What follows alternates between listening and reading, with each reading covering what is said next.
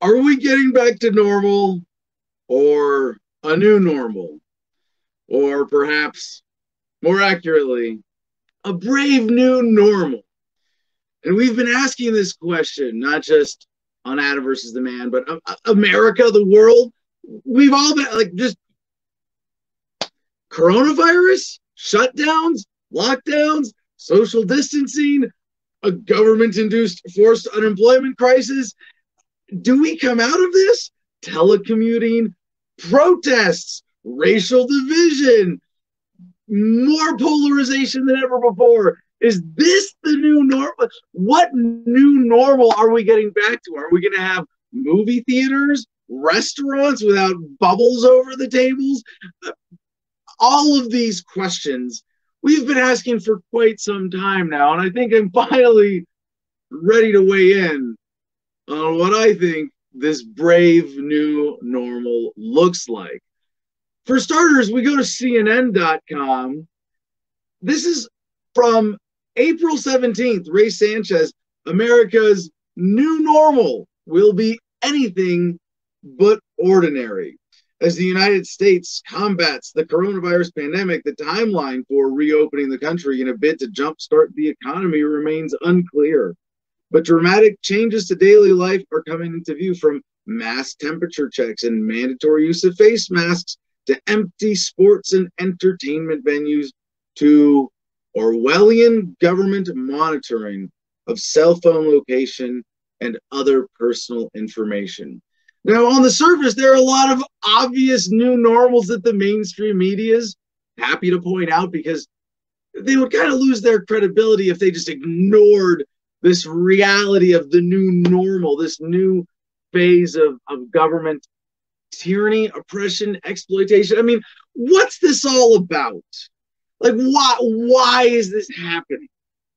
The biggest rackets in the world are always around government, right? Wars, central banks, overblown health crises so that they can add nine plus whatever trillion dollars of liquidity to the market, money poof, created out of thin air.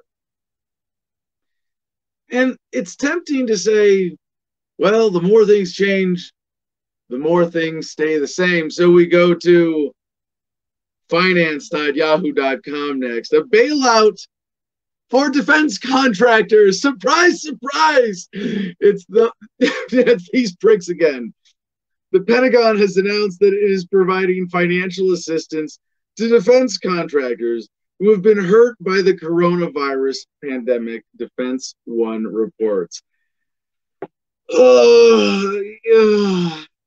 The Defense Department said this week that it has paid $135 million to five mid tier defense companies as part of an effort to sustain defense critical workforce capabilities in body armor, aircraft manufacturing, and shipbuilding.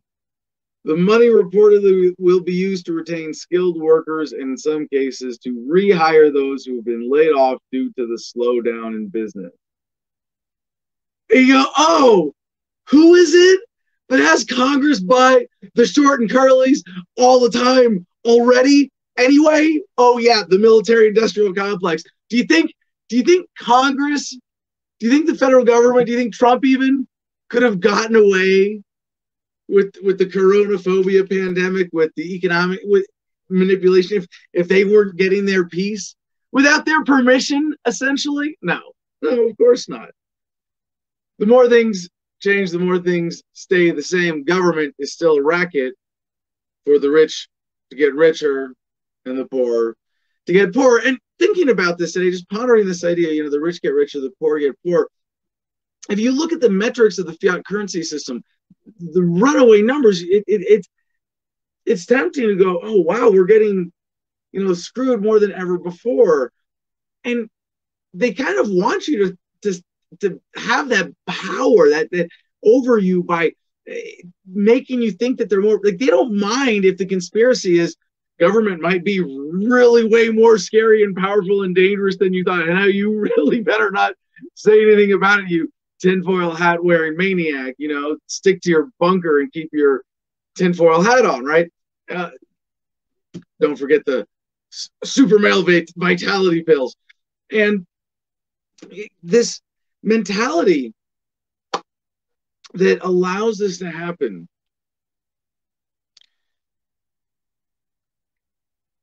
It, it is in all of us. What they are doing is sucking wealth away from the working class right? From the working class to uh, everybody who would exploit us. Uh, government is not the only but certainly the biggest and the focal central mechanism of the exploitation of the poor and working class by the rich. And it's not that all rich are good, and it's not that all poor are are bad. Wait, I mean, it's not that all rich are bad. It's not that all poor are good, right? There are plenty of rich people. Uh, you know, very few in the, in the, you know the the upper upper tiers don't at least have some complicity in the evil of the system. But there you know, there are plenty of wealthy people who have earned their wealth legitimately, more or less, even though they're you know profiting from the, the general system of the fiat currency and corporatism. They're well intentioned and have, have, more or less earned you know, what they have. And there are you know this isn't that, that all uh, poor people are good. You know there are plenty of bad, there are plenty of criminals and exploiters who just aren't successful, who are poor um, for for whatever reason. And it's kind of a matter of what can they get us to believe. And I'm reminded of the quote from Voltaire those who can get you to believe absurdities can get you to commit atrocities. So we go to the mirror uh, next for powerful image of Archbishop and Cathedral surrounded by pictures of COVID 19 victims. And I, I, I know this guy has not seen the headlines that I have seen. I, we brought you the story where they it was it was really clear in Washington State where the coroner had a guy who had been shot, died of gunshot wounds, but because he tested positive for corona, his death was listed as a coronavirus death. These are not people who are dying from corona; they're people who are dying with corona. There is a huge distinction, and the, the, the twist of that one word is is such uh, uh, represents a lie of such massive implications that instead of the truth, we are, we are being led to believe that, that the, this is something we should. I mean, the mainstream is falling for this. A lot of people are falling for this. The majority of people, you know, at least they fall for it first before oh crap then they put it together and it, you know people like us people like me people who watch Adam versus the Man and independent media and read between the lines in the, in the, in the mainstream, you know, understand we go through this correction a little faster. The mainstream falls for the manipulation. Maybe they correct it later. It's a matter of time. And there's a lot of this happening much slower than we want it to happen, you know, and I, and I feel sorry for this. Archbishop of Lima, Carlos Castillo, as his cathedral filled with 5,000 images of those who have died as Peru continues to be ravaged by COVID 19, with the cleric also taking aim at the government in a live broadcast. And it's it's interesting. The story says photos of those who have died during the pandemic, not necessarily from the virus. Uh, but then in the next paragraph, it says faces of 5,000 people killed by the virus during Sunday Mass. And it's like, oh, uh, please stop trusting the authorities, the people you know have lied historically over and over and over again. Now, what have they lied about? What have the records of, of, of history taught us about the racket of exploitation, that effort to suck wealth away from the poor and working class through these massive institutional social rackets, government or around government, you know, corporate rackets that are empowered by government, central banks empowered by governments, governments themselves, the military industrial complexes of the world. It's always about war. What, what, are they, what are they lying us into? War. Well, you know what? I, I love referencing Professor Steven Pinker of Harvard, Better Angels of Our Nature, his book, The Surprising Decline in Violence, a TED talk of his I highly recommend, showing that violence is on the decline in human history. un- undeniably academically proven. This is the course of human history. The racket of government, of war itself, is getting less vicious over time. So they're turning to different rackets now. But to the headlines, let's look first to uh, NBCNews.com. We'll go around the world for what's hot in today's conflicts. And, you know, we don't have to look just at today's news, just think back over the last decade or so. Global conflict has been reduced in scale since the Iraq and Afghanistan wars. And I don't mean to ignore the Yemeni conflict or any of the other massive uh, causes of death by armed conflict throughout the world today. But the scale of what government is able to get away with in the age of the internet, look at how long they've been trying to get a war going with Iran. Trump gets to kill one of their generals. Certainly an international war crime. Did it escalate? Not really. In the past, without the check or checks and balances of the information age that we live in today, those conflicts very may well have escalated to levels that we haven't seen since uh, the last generation of international armed conflict. There's a scaling down. So to NBC News, we see the headline North Korea bombed inter Korean liaison office near border amid growing tensions. Uh, CJ, that video doesn't have any audio. If you would pull that up full screen, I'll read a little bit of this. North Korea admitted Tuesday to bombing an inter Korean liaison office building just north of the border with South Korea as tensions escalate on the Korean Peninsula. South Korea's unification ministry which handles relations with North Korea, confirmed to NBC News that the liaison office in the North Korean border town of Kaesong was demolished by bombing on Tuesday afternoon local time. And this is, you know, I'll eat my words if this turns into a bigger war, but I highly doubt it. Let's go to the sun.com next. Trouble brewing. Chinese soldiers kill Indian troops in fighting along disputed border, raising fears of war between two nuclear powers. What are we talking about? Three. And it's funny because I'm kind of I'm trying to like turn around. You know, the death the death of one uh, is is a tragedy. To the death of a million is a statistic. Well, this is the death of three. Let's put that in statistical perspective.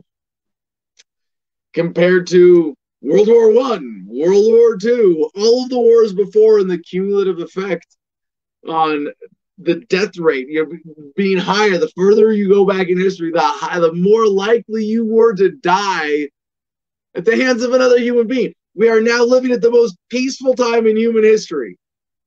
Go team people, you are less likely today to experience violence at the hands of another human being than ever before you don't hear the mainstream media trying to get your attention with that kind of good news, right? Go team people. Look at this. Look at how far we've come. You'll never hear them describe that as the new normal. Now, to the Wall Street Journal, one more international news story today caught my eye that might might suggest there's a new normal in international affairs. There's a reason America's military industrial complex, which remember Eisenhower originally wanted to refer to as the military industrial congressional complex. There may be a, a, a, why are they turning to the coronavirus as their excuse for bailouts? I mean, hey, you can pay us to make weapons. Uh, and by the way, there's there's like this like three step progress here, right? You can pay us to make weapons to use in war. You can pay us to make weapons that you won't really use in war because that, that's really where we're at. Like compared to the scope of, of World War II, like they were you they were making weapons and using them up bombs. They were going through them like crazy, right? Since then, it's like more Cold War status. The majority of military spending on weaponry goes to weapons that are made and decommissioned, not used in war, not used in the global war on terror. There's way more. Like you, you look at how much money is spent through the military industrial complex. It's it's to maintain this ridiculous arsenal. Most of it's not actually being used ever in combat. Now the part that is used in combat, Iraq, Afghanistan, everything else, it's absolutely horrific. Syria, Yemen, everywhere that America's spreading hate and destruction.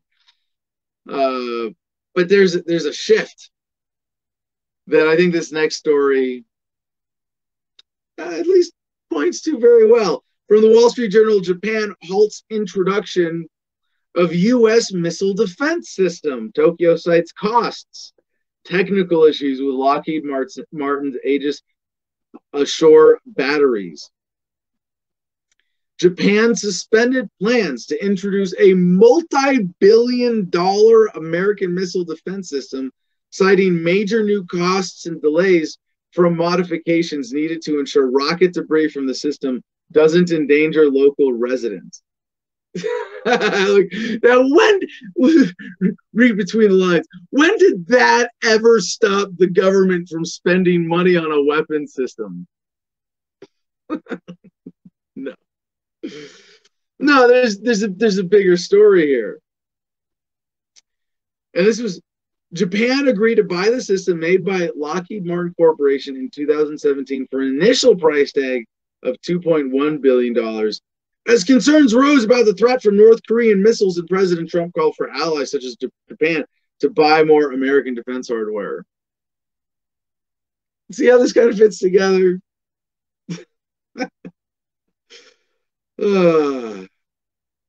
So what this is pointing to is a kind of decline in global hegemony of the US dollar empire, the military industrial complex empire, all these layers of, of, of the swamp, if you will, that uh, Trump has only managed to feed, not drain.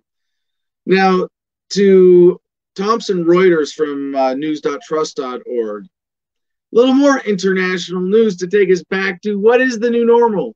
What is the new scare? Because there are more coming. And I have to think that the people behind this, and I don't think there's a singular global conspiracy behind the coronavirus pandemic. You know, there is too much disparity between countries in how they're dealing with this. If there really was a global conspiracy, we'd have a bit more uniform of a response. But for the people generally behind this, I think a lot of them right now are going, oh, what? They fell for it? Did you see the guy with the noodles, the pool noodles on his head at the Walmart? Oh my gosh. Did you see there? There's a woman with a sponge on her face. Look at this. We've got people putting bubbles on their heads oh my gosh, oh, look at what we were able to manipulate them into. Oh, and they're not even talking about the nine trillion dollars. There's and now we've got them totally distracted with race riots. Oh my gosh, this is hilarious. Oh, look at what we've done. Oh my god. Oh, this is gonna be fun. This is better than the war racket. We don't have to do war. Can we just this is fun. I mean, the wars were so ugly and and yeah, they made us a lot of money but like, this is so much fun. We can still kill people off, right? I mean, Bill Gates, he's still got this vaccine. Like, he's still working on that, right? Okay, the vaccine's coming. We're going to be able to kill a lot more. Okay, yeah, that's fine. But look, oh, yeah, this is hilarious. Oh, it's so, oh, yes. Oh, this is so much better. And, you know, it, really, it's safer for us. You know, we don't have to have the wars. You know, okay, so is this progress? I think so. Because really, maybe if, if, if I put myself in their shoes in that voice again, it could be like, ah, oh, shucks, we don't get to make the wars happen anymore. Well, at least we get to do this, and it's still pretty entertaining. We still get to rip everybody off. So, to the next headline as coronavirus returns, Beijingers face disruption anxiety. Beijing scrambled to co- contain a coronavirus outbreak just over a week after containment measures had been eased and life had returned to near normal is disrupting activity for many residents and fueling concerns of further tightening. Now, just for the historical perspective of the last few months on this story, remember China. It, the numbers manipulation is just obvious. I mean, they, they they released the chart where it had like the spike for one day. Oh, we counted them different. That day we decided to include the asymptomatic cases. The rest days we just wait, and then we went back to not even counting them. And then they report zero n- new cases. And now they're trying to spin it as well. This is this is a different virus. It's mutated, so it's come from. This is the American virus now, not the Wuhan virus. I guess that is that my Chinese version of a Trump voice. I wish I could.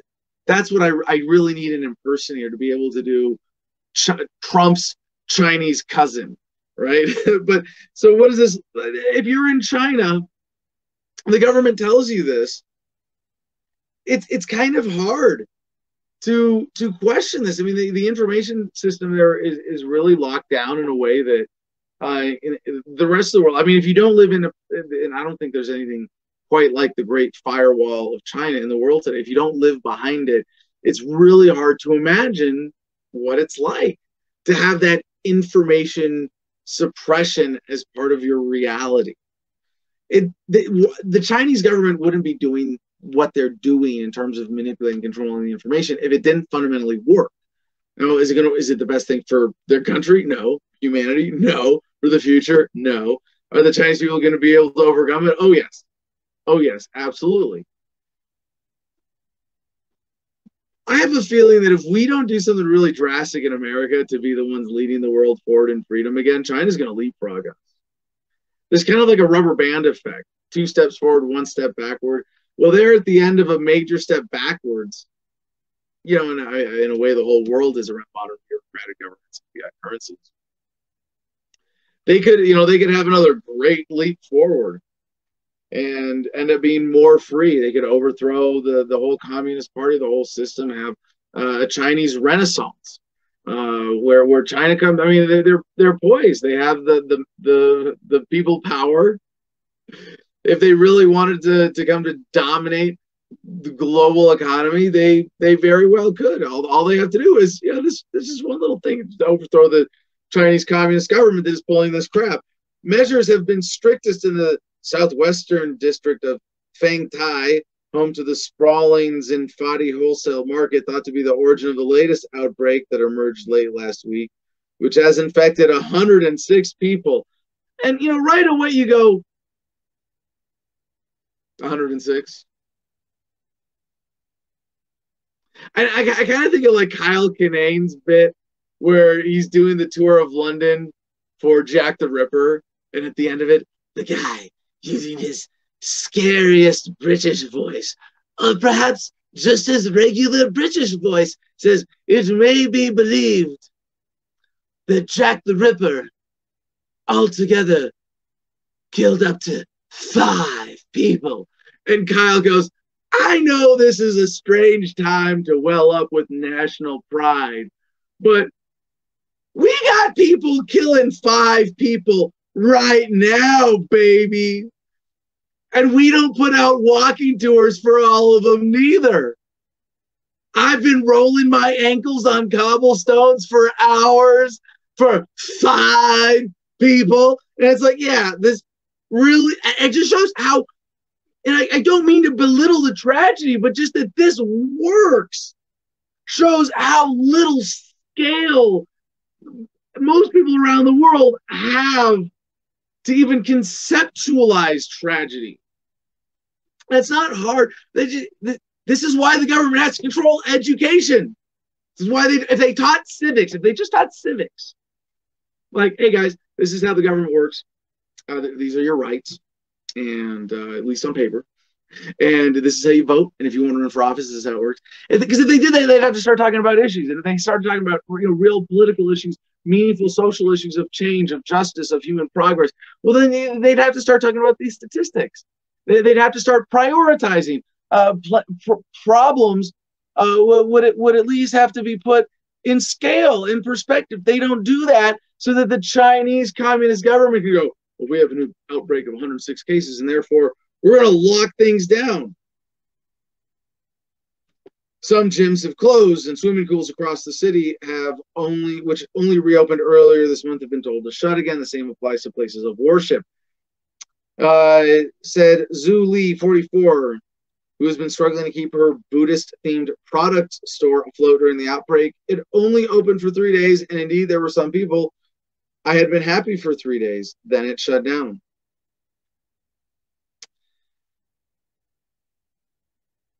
the, and, and I, I mean, I, I could keep going on the story, but you know how the rest of it goes. It's the same thing as here in America. You know, it's it's worse in China, obviously, as, as you would expect with something like this. Forced temperature checks, mandatory social distancing, mask enforcement, and that's all really just kind of a smokescreen.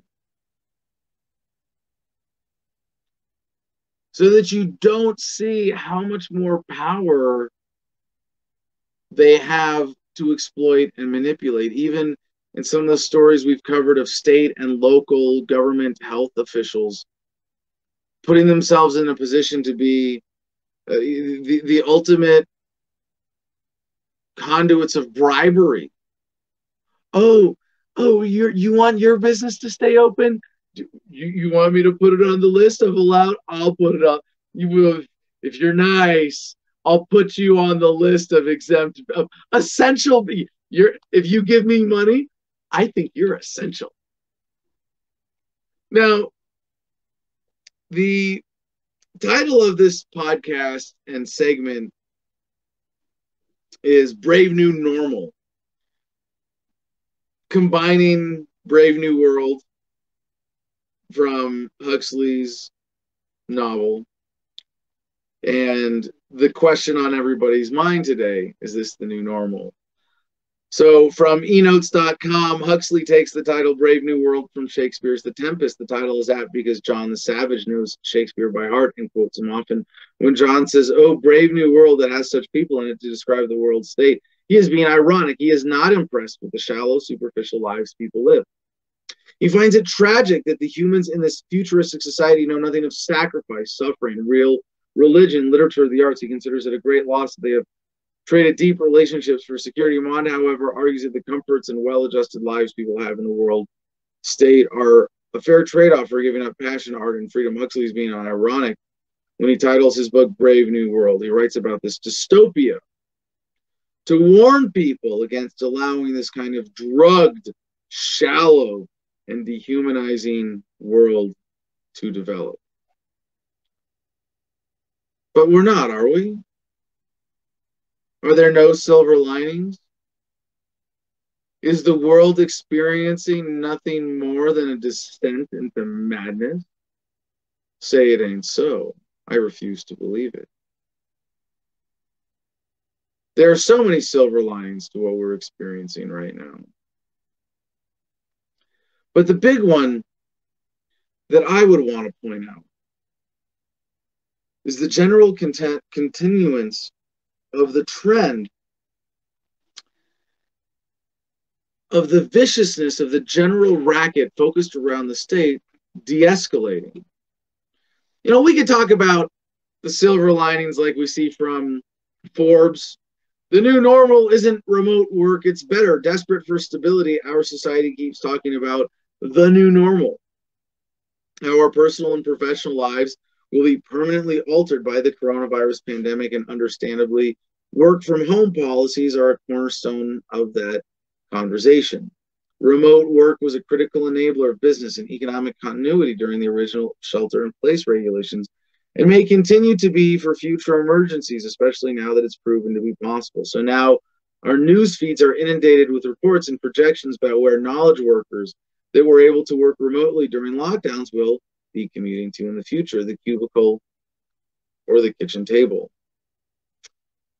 So, you know, the article goes on, and there's a lot more this about virtual workplace accessibility, results based tracking, and it concludes the new normal isn't necessarily a business world without working in an office. It's just a world where we focus on work instead of the office. As our teams adopt new ways of working via virtual workplaces, asynchronous communication and results based tracking will be able to focus much less on where we're working and instead celebrate the immense contributions that we're making to our companies and industries. And this is this is almost like the shallow economic version of the point I want to bring this story into make here. That the well, I mean, there's so many bigger points around this, but we're not commuting as much. A major shift in just the efficiency of humanity as a whole. You know, geez, I got to quote Kyle Kinane again. This weird backwards race to see who's going to get to their crappier jobs sooner, right? Like that, really? This is this is progress. This is and and you know the idea of remoting or taking a, a big part of your life virtual isn't to suggest that that's what we should make our exclusive existence about but that then the time that we get to be physically present is more meaningful and more valuable.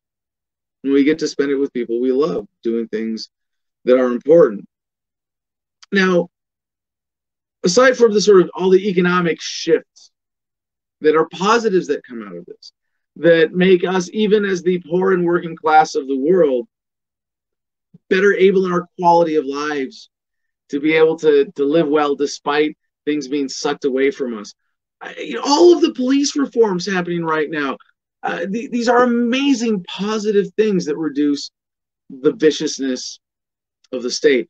So I turn now to Frederick Douglass for a quote, for a little perspective on this. The limits of tyrants are prescribed by the endurance of those whom they oppose. Now, I've misquoted this several times. and I think my misquote is a better version of this. Because this certainly describes perhaps an immediate situation uh, of a slave, right? That a slave beaten and abused to the end of their endurance will, by collapse or revolt and rebellion hit the limit of the tyranny of the slave owner.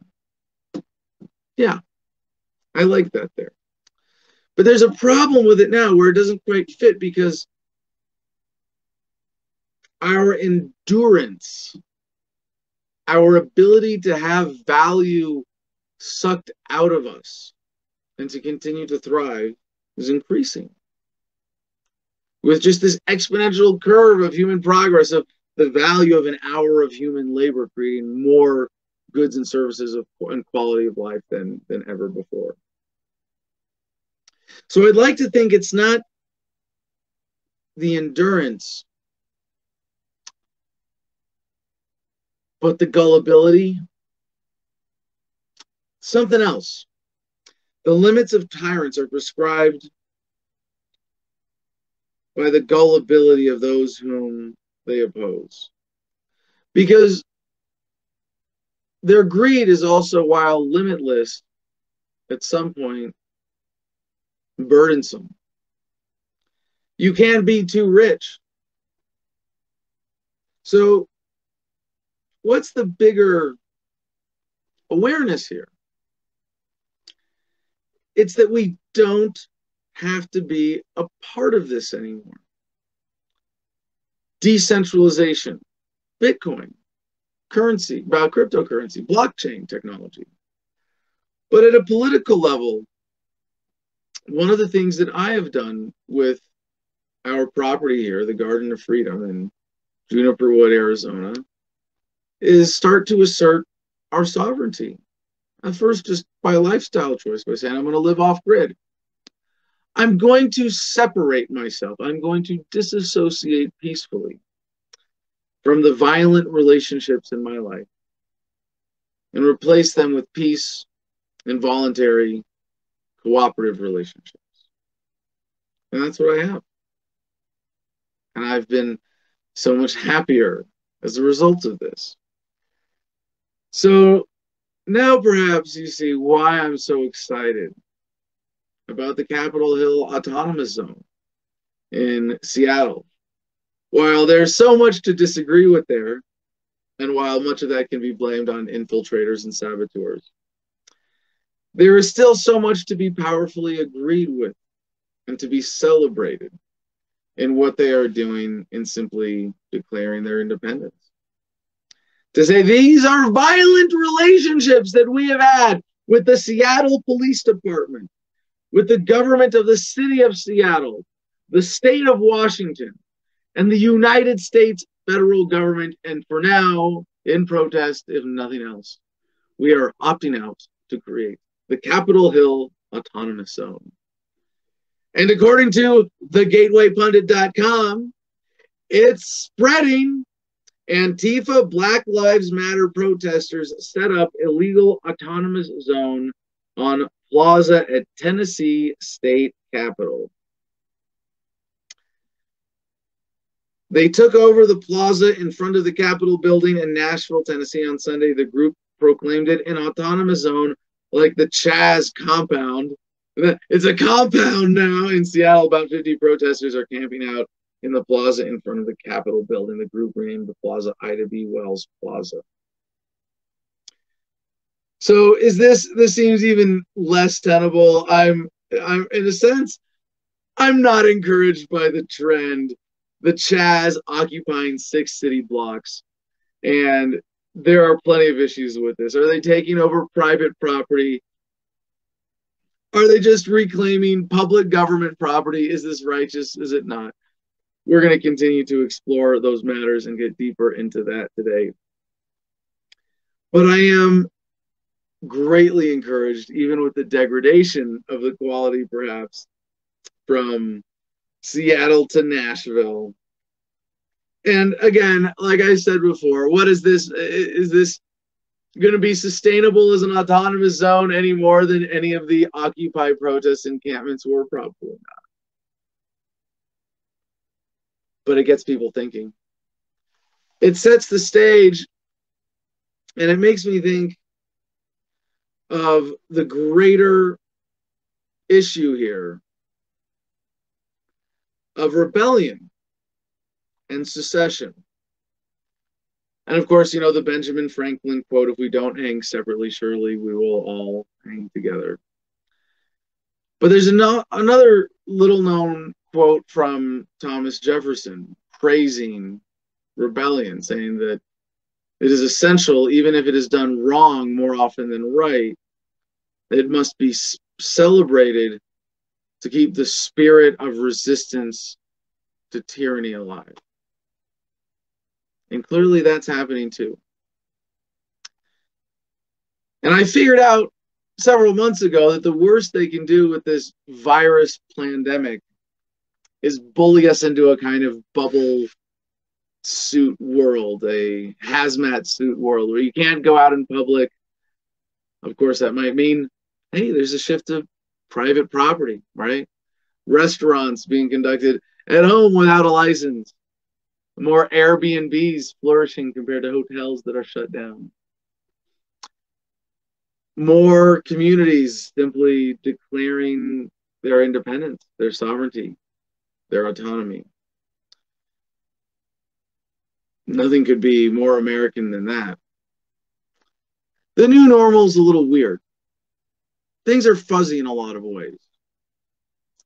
But if the new normal is this phase that we can go through this brave new normal of viral threats, of manipulated protests, manufactured crises, but at the same time, a steadily growing undercurrent of rebellion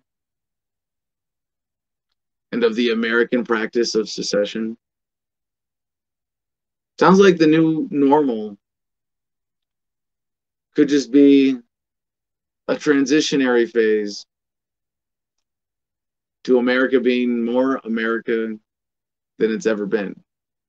And the new world that we are building is one in which these ideals that America was founded on of, of secession, of declaring your independence, of just proclaiming to the world, don't want to be a part of your forced collective anymore.